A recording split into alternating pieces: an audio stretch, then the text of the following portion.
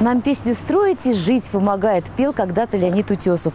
И правда, ведь песня, она для того и создана, чтобы поднимать настроение, как-то ободрять.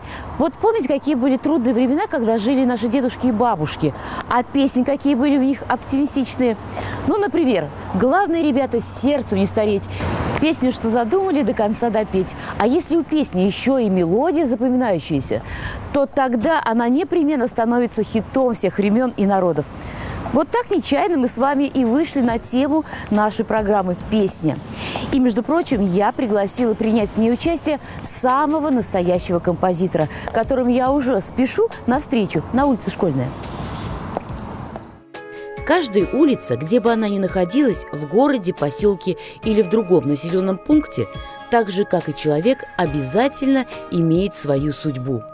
Улица Школьная появилась в нашем городе одной из первых.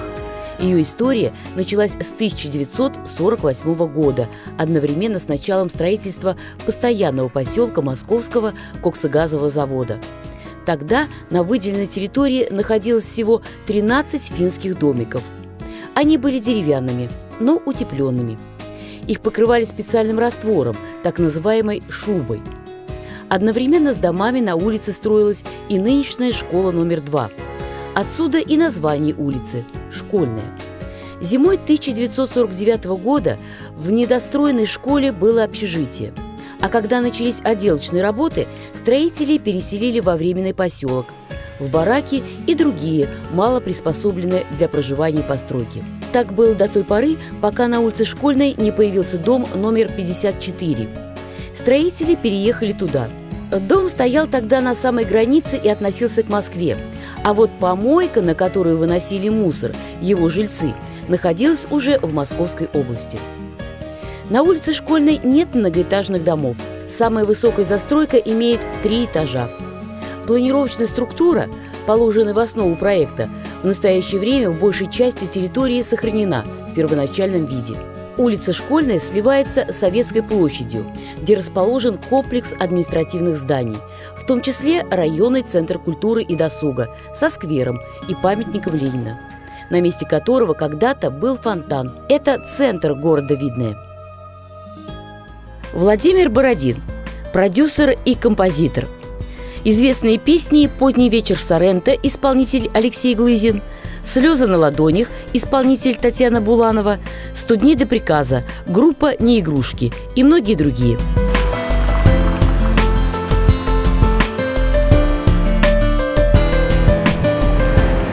Володь, ну здравствуй! Здравствуй! Это, между прочим, одна из самых красивых улиц города Видное. Напротив школы номер два, как мы с тобой договаривались, мы и встретились. И я хочу тебе предложить прогуляться по этой улице. Не против? Конечно. А заодно и поговорить о творчестве. Ну, сразу начнем разговор о твоей профессии, профессия композитор. А композитором становится? Это призвание или этому обучаются? Конечно же, этому обучают э, консерватории, всякие учебные заведения существуют, э, достаточно солидные. Но они дают техническую, значит, как говорится, сторону. Практическая сторона, это техническая, то есть обучение там, ну, не игры на фортепиано, а все остальные азы. Не буду углубляться. Ну, знаешь, а, вот- а вот писать музыку, я все-таки думаю, что дает Бог. А вот песни, у них же у каждого своя судьба. Кто-то становится хитом, а какая-то просто откладывается в какой-то долгий ящик. Что нужно для того, чтобы песня стала хитом? Во-первых, чтобы, чтобы написать надо, чтобы она была красивой, достаточно современной. Ну и, соответственно, исполнитель. Ну, хитов достаточно, в принципе. Есть э, «100 дней до приказа», «Поздний вечер Сорента». Ну и разные исполнители исполняют. Не то, чтобы это не, не стали хитами, просто некоторые исполнители не всегда э, достаточно доводят до слушателя э, достаточное количество А у тебя среди них есть любимая? Ну, они все мне любимые, они все А вот самое-самое? Нет? Но э, то, что самое-самое, она, к сожалению, не, ста- не становится хитом. Потому что, в общем, я люблю крупные формы. Это не всегда соответствует спросу нашего населения. Володь, а вот что такое песня вообще в твоем понятии? Ну, это состояние души, ну, не только композитора, но еще и соавтора, поэта. В общем-то. У меня для тебя есть маленький сюрприз. Так, люблю. И не телефон. Просто здесь у меня записана информация, то, что наши видновские детки думают по этому поводу. Что такое песня? Песня это когда человек э, поет. Песни бывают грустные, а бывают веселые. Песни это танцы. На день защитника Отечества мы танцевали танцы. Я песни запомнила. А закаты алые, алые, алые. Перед боем выстрела не слышны Не об этом вместе с тобою мечтали мы За четыре дня до войны. Песни пишет композитор. И мы поехали папе за новыми штанами.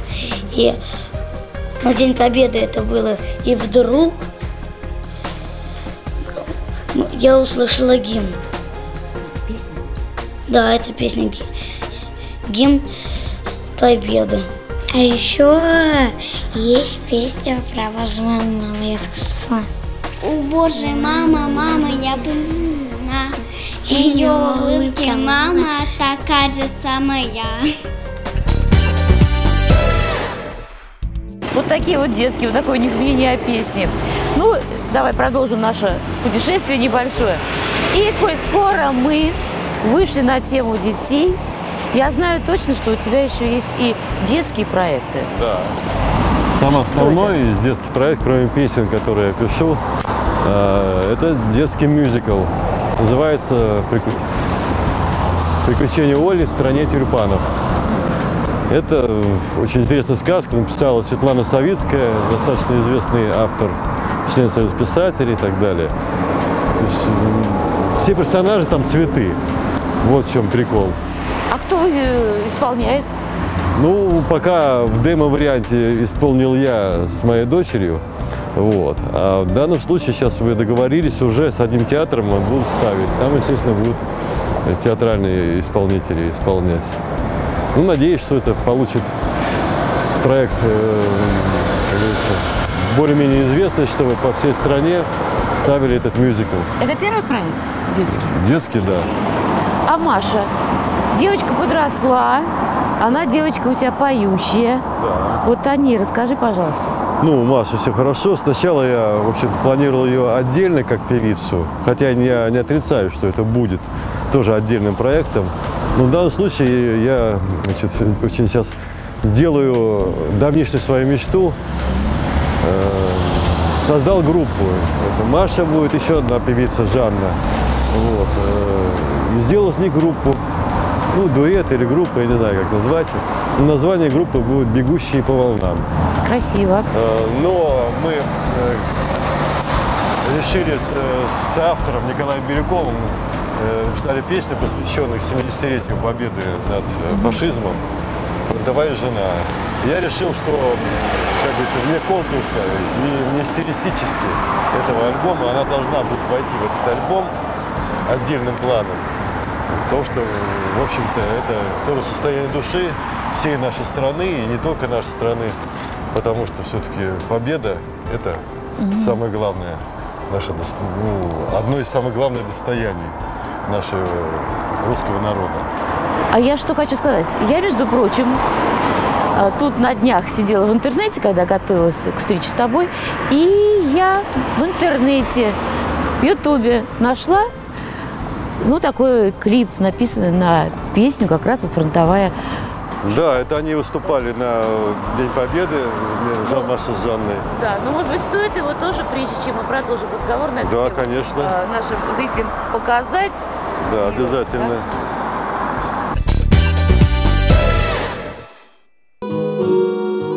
Я прощаюсь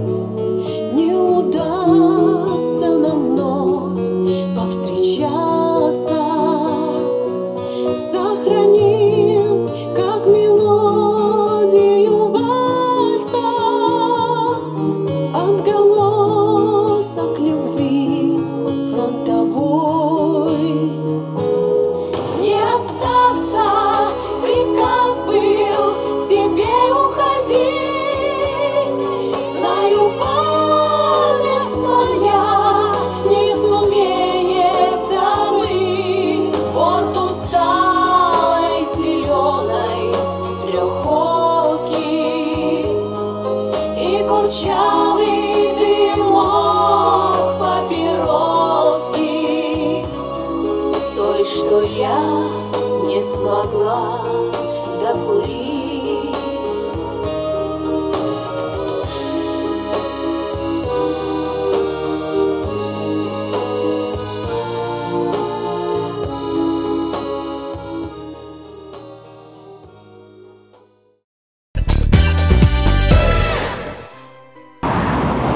Володь, ну очень красивая песня получилась. Меня же прям даже как-то вот Спасибо. тронула. Спасибо. Тебе спасибо за песню, за эту. Ну, Кстати, я, да, кстати, я сегодня пригласил соавтора песни на передачу «Фронтовая жена» Николая Бирюкова. Очень приятный сюрприз. А пока передвигаемся к месту встречи, скажи, какие-нибудь еще проекты сейчас интересные есть, над чем работаешь? Да, очень серьезный проект э, международного уже масштаба. Дело в том, что я работаю с, э, с поэтом, песенником Валерия Горбачева, есть такая, которая написала Пугачевой «Любовь похожа на сон». Мы с ней познакомились, сделали несколько песен, э, поет Лев Лещенко, э, Буйнов Саша, взяли нашу песню. Э, Она пишет на итальянском языке и познакомила меня с Рикардо Фоли. Есть такой итальянский певец, достаточно известный, знаменитый. И вот мы встретились, как сейчас помню, 5 декабря э, в Крокус Сити Холле. Э, я ему показал э, четыре песни, которые мы написали с нею. И он мне сказал «Браво!». И в июне он прилетит сюда, в Москву. Мы будем записывать здесь в основном э, основной вокал его. И потихонечку, потихонечку этот, этот альбомчик запишем. Здорово. Насколько я понимаю, нам нужно по пешеходному переходу сейчас перейти. В июне запишем четыре песни и начнем Песни. ротировать на радиостанции. Владимир Бородина. Здорово, Володь. Да. Мне кажется, это очень интересно. Я тоже надеюсь. В общем-то, еще э, это все-таки проект международный. Русские авторы пишут для итальянца на его родном языке. Володь, ну вот песня «Фронтовая э, жена», она долго вообще писалась? Сразу вдохновение Мне пришло? сразу пришло вдохновение. То есть э, Николай Бирюков мне прислал текст, и мне сразу как-то все прям посмотрел на текст, и сразу музыка прила. А, кстати, вот и Николай сидит рядышком. Ну, давайте подойдем. Да-да-да-да-да. Николай, здравствуйте. Добрый день. Разрешите ваше одиночество скрасить и с вами немножко побеседовать? Не против? Не против. Тогда присаживаемся. Николай, ну вот фронтовая жена. Вы, э, скорее всего, наверное, сын фронтовиков. Откуда вообще эта тема? Дед у меня был, две войны прошел, ГУЛАГ. А сама тема фронтовая жена-то вроде как женская тема. Ну что, э, можно писать как мужские, так и женские темы. Это несложно. Главное, чтобы материал подобрать так и его обработать соответствующим образом. Для поэта, который профессионально занимается литературой, это несложно поменять образ. Есть такая книга, называется «Письма с фронта». Там и детей, и жен, и всех. Вот это собрано очень большое количество. И поэтому материала, так у меня, скажем, в голове достаточно. То есть я хорошо эту тему очень знаю. Вообще я вырос, вырос на комсомольском поселке в среди, э, так сказать, э, не знаю, как объяснить, в среди э, репрессированных. Родился как раз в те годы, когда все это было еще очень живо. Там все были кто? Были бывшие военные, кто, так сказать, э, понесший кару за свои преступления в этом месте. И поэтому э, это все, я слышал, конечно, понаслышно, но слышал от тех, кто это все прошел на себе. А как с Володей вас судьба свела? Почему именно он? Волбова гений. Я другого композитора для своих текстов не вижу. Э, Значит, это была не первая песня уже, да? Что было? Много песен. У нас есть песни. У нас очень удачные песни есть. Еще вот нет в широком э, прокате, скажем так. Но вот у нас одна из самых замечательных – это «Баллада о чужом храме». Такая вообще песня, знаете. А у вас диск есть какой-нибудь? Вы совместным э, таким творчеством занимались, Готовим. писались? Готовим. Когда планируете, чтобы он вышел? Не знаю. Не знаю, Как мы Бог даст. Вы обратили внимание, какой стал город Видное по лету, по теплу красивый? По Вы успели э, пройтись уже по улицам? Успели. Пели красиво. Конечно, сейчас в эти годы лучше стало намного.